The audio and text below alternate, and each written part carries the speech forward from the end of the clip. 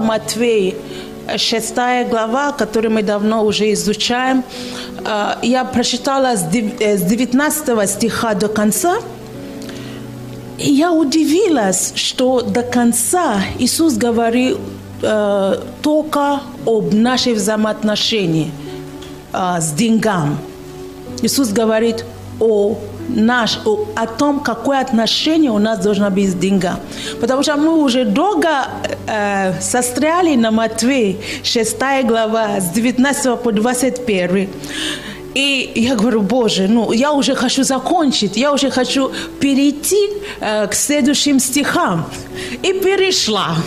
И перешла, оказывается, что перейти невозможно. Все об одном и том же.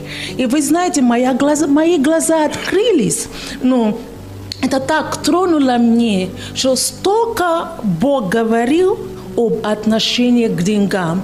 И насколько Бог, знаете, взял время, потратил достаточно время для того, чтобы у нас было здоровье, нормальное, ну, понимание о том, как мы должны относиться к материальным э, вещам. Но у меня классный, ну, у Бога классная тема сегодня. Знаете, какая? Не знаете.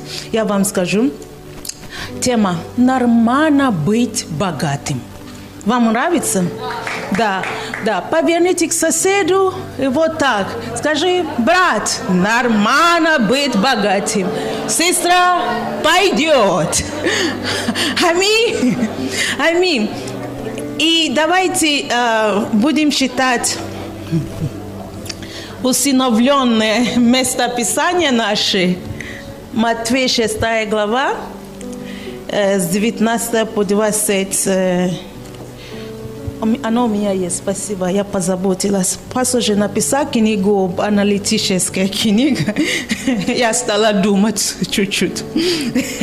Матвей 6 глава, с 19 стиха. И я бы вообще хотела, чтобы мы читали до конца, хотя мы не будем ну, разбирать до конца, чтобы подтвердить, то, что я только вам говорила. Матвей 6 глава, с 19 стиха до конца. Не собирайте себе сокровищ на земле, где мол и лжа истребляют, и где воры подкапывают и крадут. Но собирайте себе сокровища на небе, где ни мол, ни ржа не истребляет, и где воры не подкапывают и не крадут. Ибо где сокровище ваше, там будет и сердце ваше. 22. Светильник для тела есть око. Итак, если око твое будет чисто, то все тело твое будет светло. Если же око твое будет худо, то все тело твое будет темно. Итак, если свет, который в тебе тьма, то какова же тьма? Никто не может служить двум господам. То есть 22 23 говорит о том, как мы видим, как мы понимаем вашей жизни, как мы понимаем э, материальные вещи. Если мы понимаем, ну, искривленное, тогда вся наша жизнь вот так будет. А потом 24 стих говорит, никто не может служить двум господам. В основном мы, мы тоже знаем, что это идет о Боге и о богатстве, материальном богатстве. Или ибо или одного будет ненавидеть, а другого любить, или одному станет усердствовать, а о другом не родить, не может служить Богу и мамоне. 25 стих. Иисус говорит, поэтому я говорю вам, не заботьтесь. Помните, когда он говорит, не собирайте себе сокровища, да? И вот 25 стих он говорит, поэтому я говорю вам, не заботьтесь для души вашей, что вам есть и что пить, не для тела вашего, во что одеться, душа не больше ли пищи, и тело одежды. Взгляните на птиц небесных.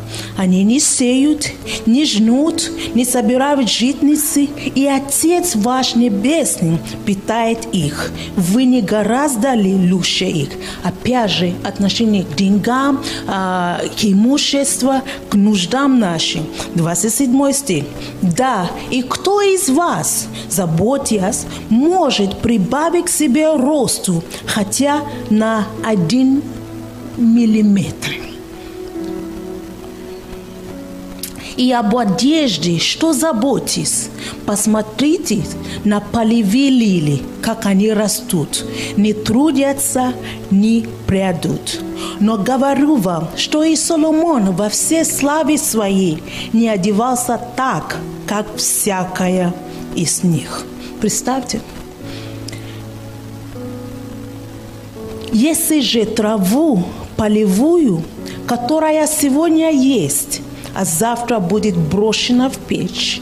Бог так одевает, коми паче вас мало верни. Итак, не заботьтесь и не говорите, что нам есть. Потому что Иисус в 19 стихе говорит, не собирайте себе сокровища. И сразу вопрос, хорошо, если не собирать, ага, как быть, что есть, что пить. Вот. А Иисус говорит, не, не заботьтесь и даже не говорите. Кто-то меня слышит сегодня? Бог запрещает нам говорить негатив. А как мне быть? Очень много женщин остаются э, злоупотреб, злоупотребленном отношении, в ужасном отношении.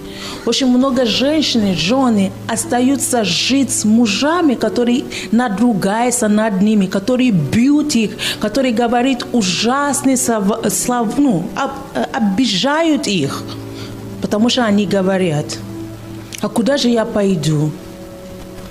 Как же я буду кушать без него? А что же будет с моим ребенком без него? Бог говорит, не говорите, я есть. Я есть. Много из нас, мы находимся в нездоровом отношении, уже даже не семейном отношении. На работе, еще где-то. Потому что мы говорим, а как быть? А как я выживу? А, а как? А, а, а, а, а, а. Мы думаем об этом, и мы говорим это. Библия говорит, что не заботьтесь, и даже запрещаю вам говорить. Человек, который понимает Божья думка, Божьи мысли о финансах, о, о силе Божией обеспечивать, он никогда не будет говорить негатив. Я считала сегодня а, в одной книге, это человек-пастор, и когда сын подошел, ну, дочка в этот раз была, и когда дочка подошла к нему и говорит, папа, смотри, в той семье у них ну, что-то есть, то, чего у нас нет. Ну, скажем, а, да, но у них были автомобили, что же можно... Давайте сейчас скажем, что она говорит, папа, смотри, а, в, а, в той семье они каждый год едут за границу на отдых. И папа отве, отвечает ей, мы тоже скоро будем ездить на отдых, но только постоянно молись об этом. Вы понимаете? Папа не позволял, чтобы негативные слова выходил. Он, вот этот вызов, он превратил его в позитив. Если мы возьмем автомобиль, ребенок подошел к отцу, вот, у этих есть машина, у нас нет. Папа не говорит, замочи, да? Папа не, ну, он говорит, у нас будет, Бог обеспечивает. У нас тоже Бог даст скоро, но Он всегда заканчивает. Это уже дочка ну, рассказывает, да? Наследие от отца. Но он говорит, но папа всегда говорит, ты просто молись об этом постоянно. молись об этом постоянно. Я, я чувствую, что Бог служит нам сегодня. Он говорит, даже не говори. Даже не говори. Как же я буду жить? Как буду? Когда мы так говорим, мы уменьшаем силу Божию. Мы оскорбляем Бога. Я в прошлый раз вам говорила, что если я с Африки, до сегодня живу, вы долго жить будете. Потому что вы не, вы не родились в Африке. Если даже я, которая родила в Африке, Бог заботится обо мне, у вас проблем нет. И быть не может. Итак, не заботьтесь и не говорите, что нам есть, или что пить, или во что одеться, потому что всего этого ищут язычники. И потому, что Отец ваш Небесный знает, что вы имеете нужду во всем этом. Когда Иисус говорит в 19 стихе, не собирайте сокровища, вы думаете, что Он не знает, что надо кушать? Да? Вы, не, вы, вы думаете, что Он не знает, что надо одеться? Он знает. Знаете, иногда, когда Бог что-то требует от нас, или когда э, наши лидеры что-то требуют от нас, у нас такое, знаете, извращенное понимание, что они ничего не понимают. Понимаете? Типа у них все хорошо. Мы говорим, сытый голодному не поймет, да? Мы думаем, что лидер, э, как правильно? Да, сыт голодному не верит, да? Вот. И вот, в основном это наши отношения. Вот когда наши лидеры качают нас, когда наши лидеры что-то требуют от нас, мы обижаемся. Он еще требует, он, он не видит. Но мы, мы обижаемся, мы думаем, что да, у тебя хорошо, ты же пастор церкви, вокруг тебя же охранники, ого, да, можешь так говорить. Вот давайте вот, Иисус и мы – Иисус Сын Божий. Иисус много учеников. Может делать чудеса и знамения. Да, тебе легко сказать. Да, конечно. Захочешь кушать, подойдешь к берегу, да? Поймешь любую рыбу, и там еще деньги будет. А, а я? А я как быть? Захочешь сына, умножишь пять хлебов, два рыб, да, решишь проблемы своей семьи, а я, типа, пусть каждый решает свои проблемы, как он может. Знаете, давайте будем верить Богу. Он знает, он не тупой, он не сумасшедший.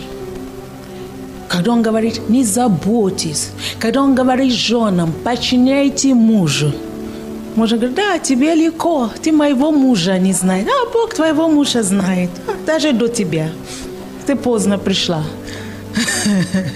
Видел бы то, что была до этого. Понимаете? У нас должно быть правильное понимание Слова Божьего. Ищите же прежде Царство Божие и правды Его, и это все приложится вам.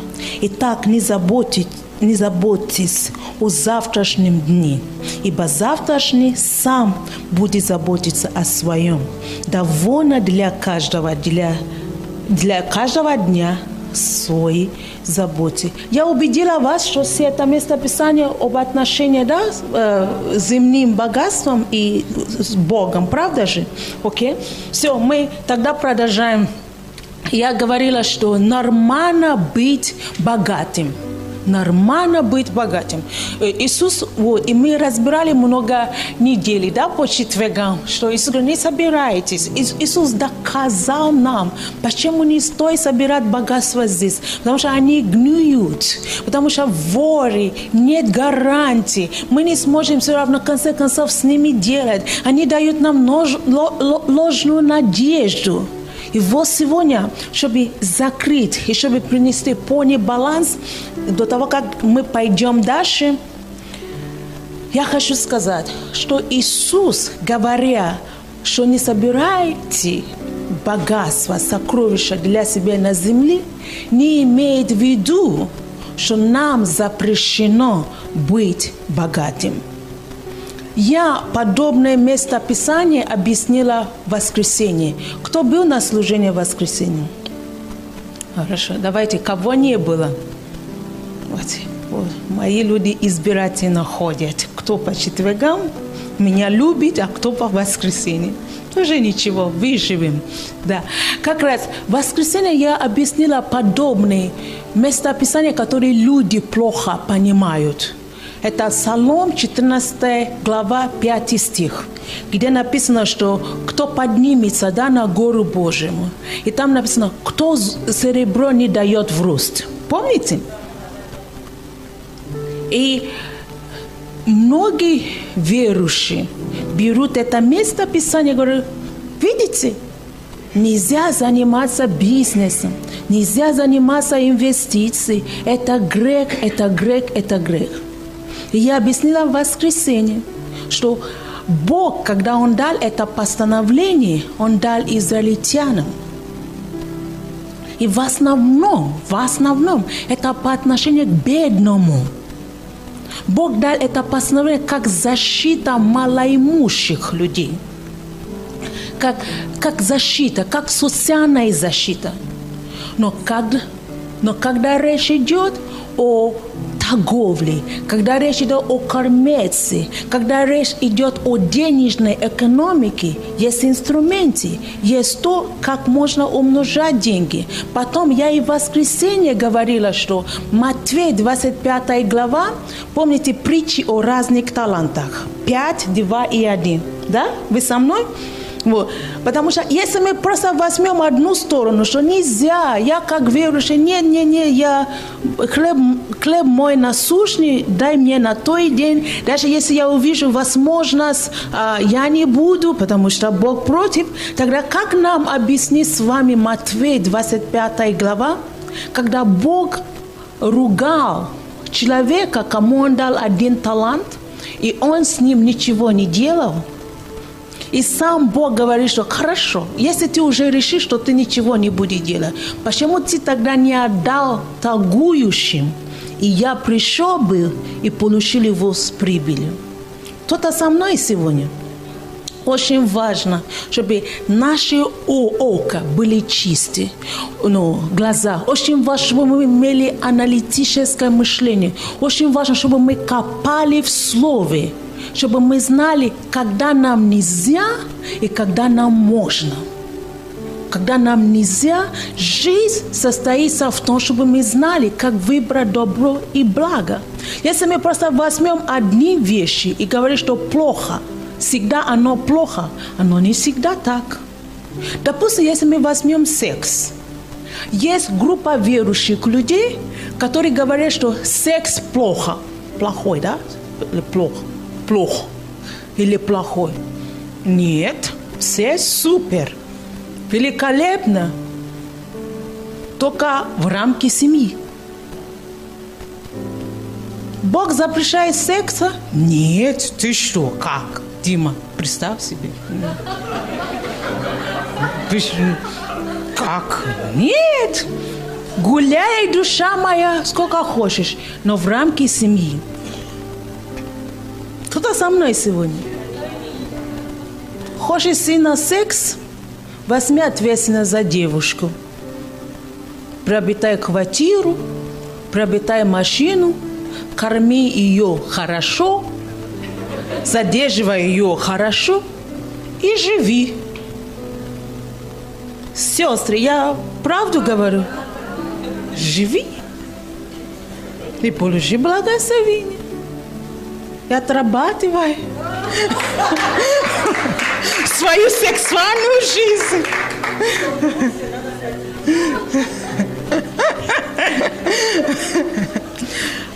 Спасибо, Саш.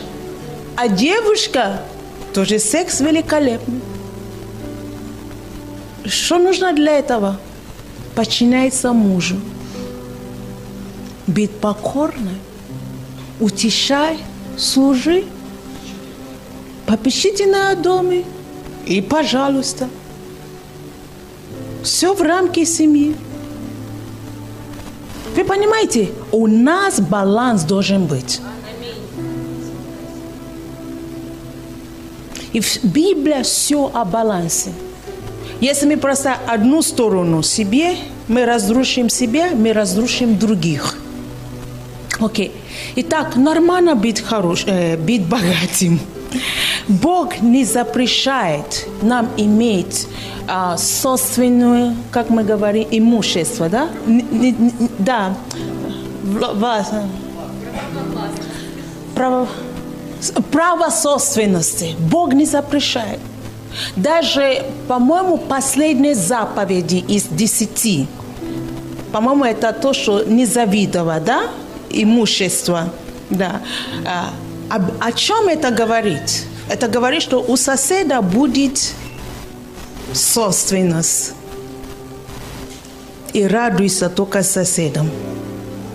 То есть Бог дает нам право иметь собственность. Он рад, Он счастлив. И Он еще так делает так, чтобы тебя не завидовали. И небо помогает им быстрее стать богатыми. И то прочное богатство, чем люди, которые это делают, нарушая все правила, которые есть на земле. Бог не против, чтобы у нас было сбережение. Когда мы э, э, сберегаем деньги на образование, когда мы сберегаем деньги, чтобы купить квартиру, потому что оно нам нужно, когда мы сберегаем деньги, чтобы купить машину или еще что-то другое, Бог не против, никак не против. Бог не против, когда мы инвестируем хорошо, чтобы иметь прибыль. Я уже говорила об этом. Бог не против, чтобы у нас была страховка. Бог не против, чтобы, э, чтобы у нас были хорошие вещи. Давайте откроем с вами Битие, 41 глава. Битие 41 глава. И будем считать с 33 стиха по 36 стих. Битие 41, 33 по 36. Вот такие слова мы видим. И ныне, говорит Иосиф, и ныне да усмотрит фараон мужа разумного и мудрого, и да поставит его над землею египетской.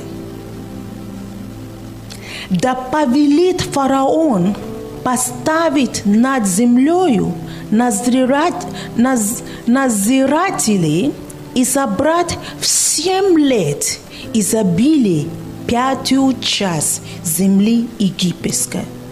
То есть 20%. Но для этого нужно разумный и мудрый человек.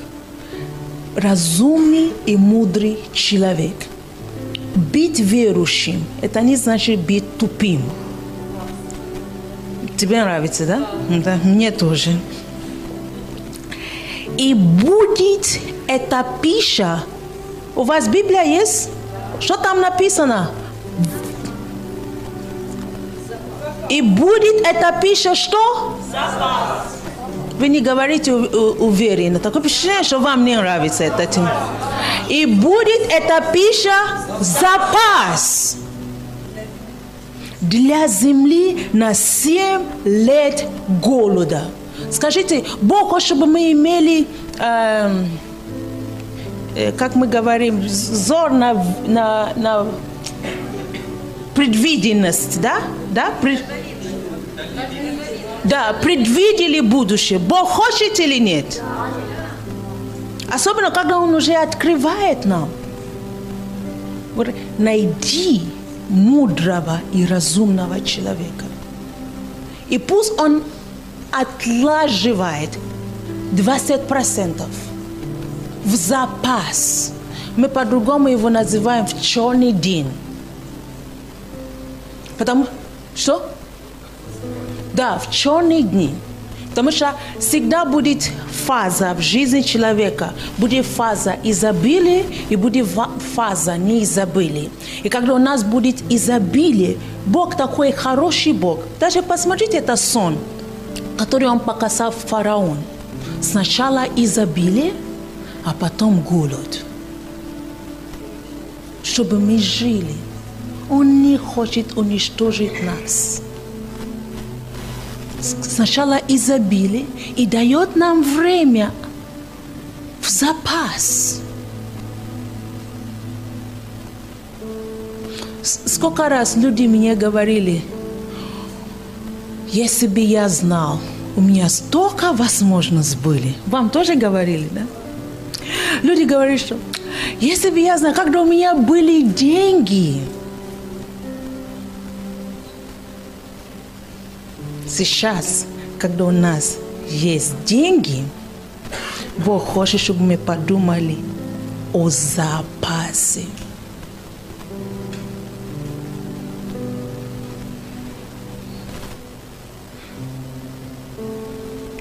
Так и написано в Библии, дабы земля не погибла от голода. Дабы земля не погибла от голода. Чтобы мы не умерли во время испытаний, чтобы мы не умерли во время искушений. Бог всегда дает время благодать, чтобы мы накопляли и брали оттуда. Церковь, Бог против, чтобы мы были богатыми. Церковь, Бог против, чтобы мы думали о будущем. Бог не против. Абсолютно Он не против. И мы всегда, ваше аналитическое мышление всегда думает, что будет завтра, как будет завтра. Живет, опережает время и готовится к будущему. Тоже Битье, 13 глава, 2 стих. Там речь идет об Аврааме, и там написано, «И был Авраам очень богат скотом и серебром и золотом». Правда, церковь? Написано. И то же самое Авраам мы знаем как друг Бога. Есть такой?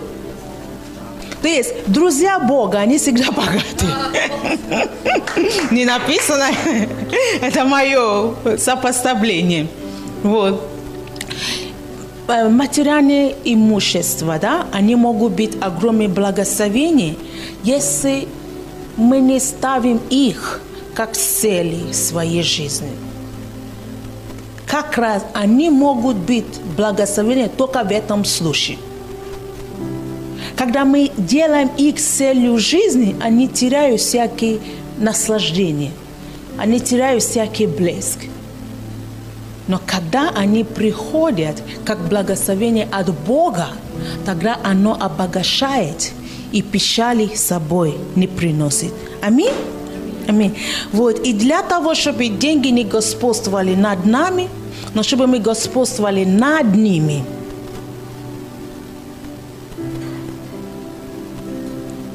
мы должны всегда жить с осознанием, что все принадлежит Богу.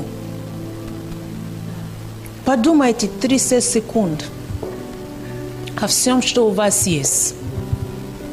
Посмотрите свою комнату, посмотрите, ну, не прямо смотрите, то есть э, воображение.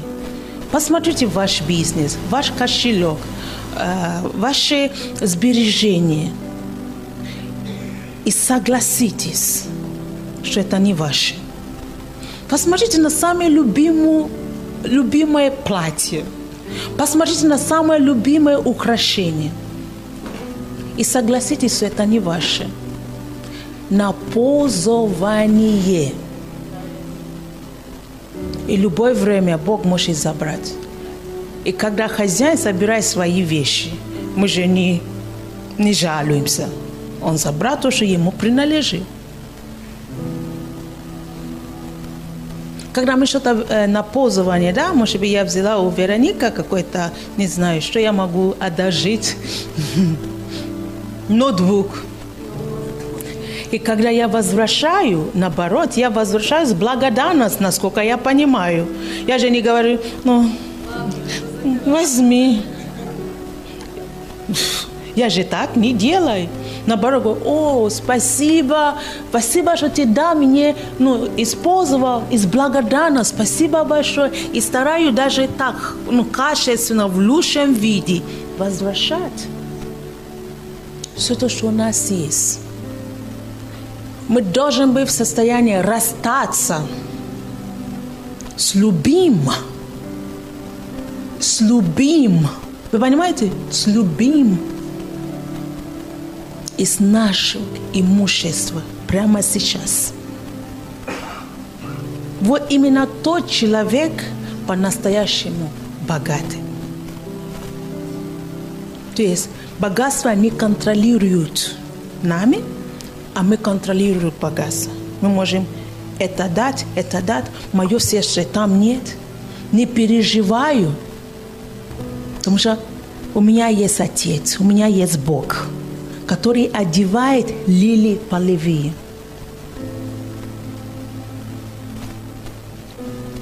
Вы, наверное, пережили свои жизни, да? Что вам пришлось, как знак послушания Богу, вы благословили людей, или вы делали пожертвования в церкви, может быть, пять лет назад. И сейчас у вас лучшие вещи. И сейчас вы даже особо и не помните, что вы пожертвовали большую сумму. Почему? Потому что вы не страдаете. То есть вы не страдаете. Иногда я думаю, Боже мой, за свою жизнь сколько я Богу уже дал. Я не чувствую.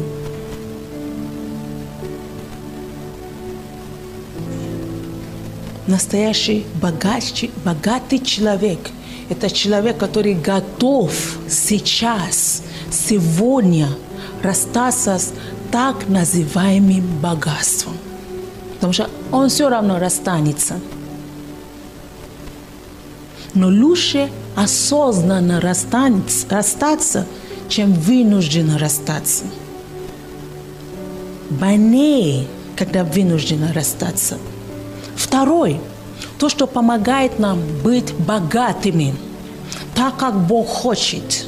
Богатый, но чтобы богатство не руководило, не руководило нами, это у нас всегда должна быть благодарное сердце благодарное сердце. Благодари Бога за то, что у тебя машина. Не говори, эта машина опять поломалась. Ну, подари соседу, походи чуть-чуть пешком. Какая проблема? Она, знаете, она меня надоела. Ничего. Подари соседу.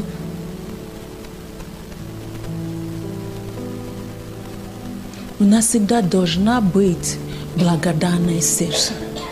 Настоящий богатый человек – это благодарный человек. Он благодарный, когда все идет хорошо, как он, ему нравится, и он благодарный, когда все не идет хорошо.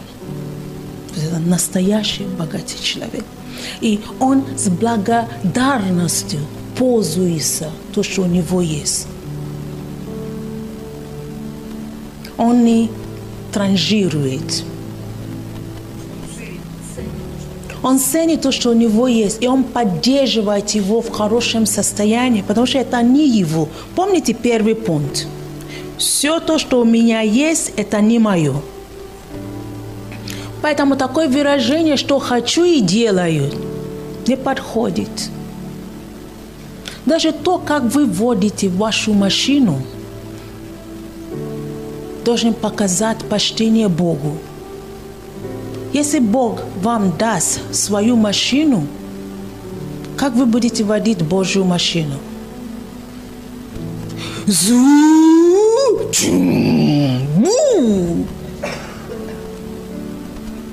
Знаете, как люди водят машину? Что случилось? Ну что случилось с человеком? Спеши, да? Дай Бог, чтобы он успел попасть в рай. Вы понимаете? То даже как мы водим машину,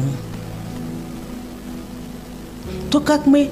Мне нравится христианская традиция, что когда есть еда на столе, да, сначала молишься – это благодарное сердце. Но вы знаете, вы знаете, Люсине, ты знаешь, сейчас мало людей молятся перед едой. Макдрайв.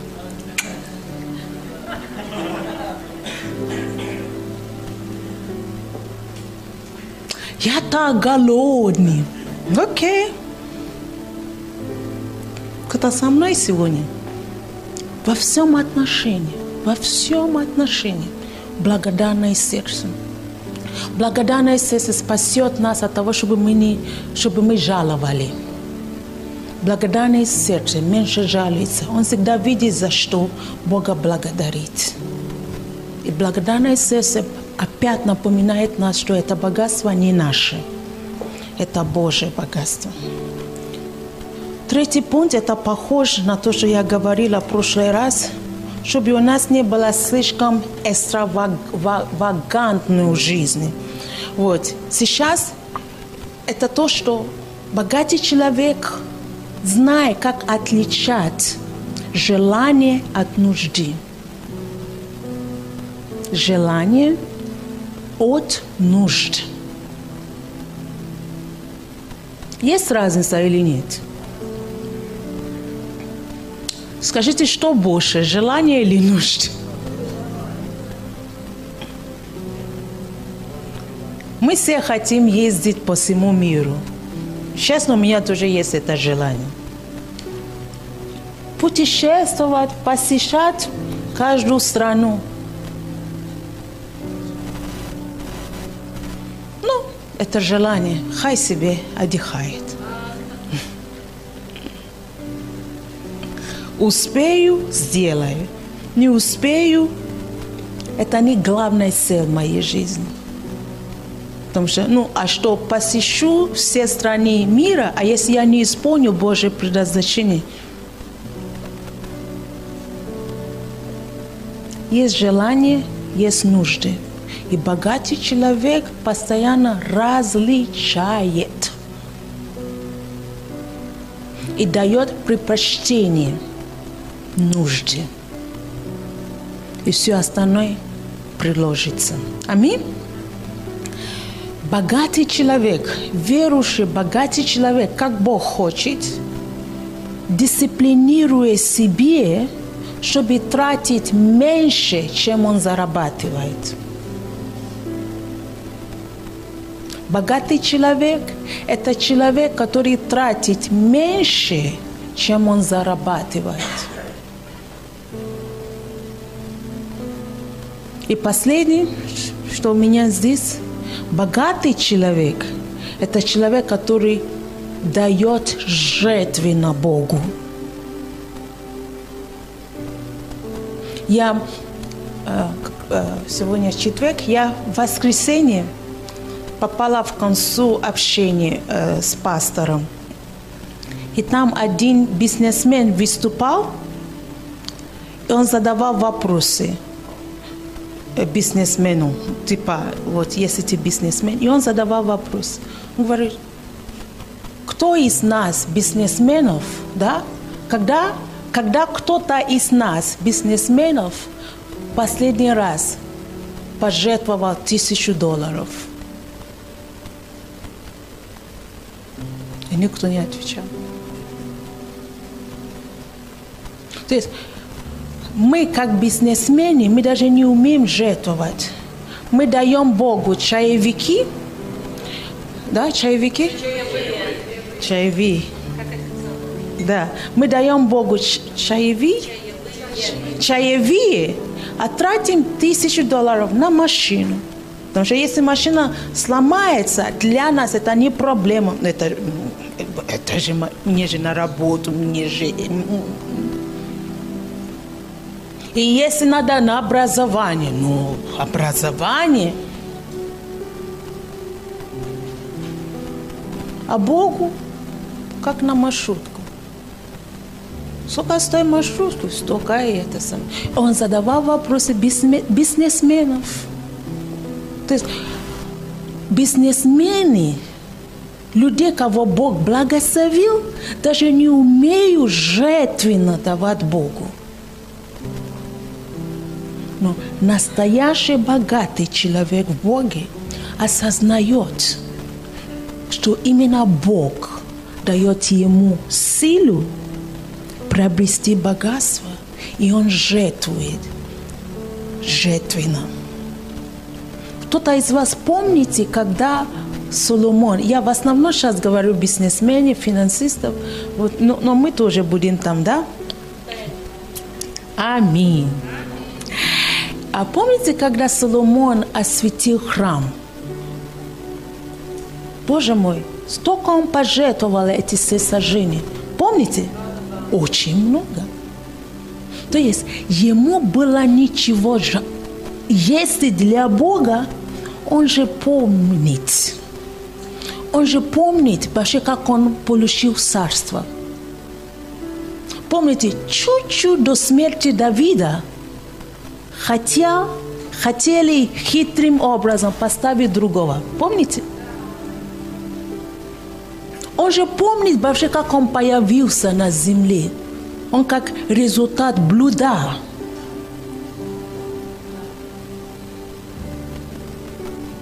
И при том, Бог явил такую милость к нему. И сейчас он будет считать деньги, да?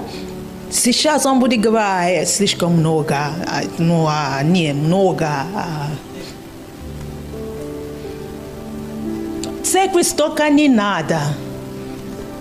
Это много, за один раз много. Много? Окей, поняла. Вы еще помните тему нашу? Вы еще хотите быть богатыми? Бог абсолютно не против, чтобы мы были богатыми, если мы будем служить Ему богатству нашему. Если мы будем жить, потому что написано в притче 3 глава с 9 по 10 стих. «Чти Господа от имени Твоего, не от чужого, Бог никогда не требует, чтобы мы пошли к соседу, украли и принесли ему. Никогда. Он не такой. Он нормальный. Он порядочный. Речь идет о тебе. Тебе. О тебе. Чти Господа от имени Твоего и от начатков всех прибытков Твоих. И наполнится житности Твои до избытка – и точила твои будут переливаться новым вином. Когда мы имеем почтительное отношение к Богу, по отношению к деньгам, когда мы даем больше всех, когда мы даем почтительнее, Бог опять туда и говорит, я еще больше. Хотя мы не должны давать Богу ради того, чтобы Он больше. Но вот это закон – всегда будет работать. Я, ну, я не знаю, если я говорила здесь, но я, когда, ну, когда, короче, когда какие-то деньги возвращаются ко мне, то есть, может быть, я кому-то дала, может быть, я инвестировала или ну, что угодно. Когда эти деньги возвращаются ко мне, я всегда из них даю Богу десятину. Почему? Потому что я осознаю, что они могут не вернуться. Допустим, если я одолжила вам да, 100 долларов, и если вы, воз... ну, до того, как я одолжила, понятно, что все верующие уже платили десятину, правда же? Но когда вы мне возвращаете, я еще плачу десятину. Почему? Потому что я знаю, что вы могли не вернуть, а я с этим делом ничего не смогу. Мы же верующие. То заявление напишем. И, или что голову, ну, поэтому в знак благодарности, что вернули, я всегда даю Богу. Потому что я понимаю, что я могу его потерять, и что я буду делать. Ну, Потому что человек, который осознает, что все принадлежит Богу, человек, который имеет благодарное сердце, человек, который умеет отличать желание от нужды, человек, который умеет жертвенно э, жертвовать Богу, это настоящий богатый человек. Это человек, кого Бог сильно будет использовать, и это человек, кого Бог будет доверять больше богатства. Вот поэтому давайте будем молиться, чтобы Бог дал нам благодать, всегда быть благодарными.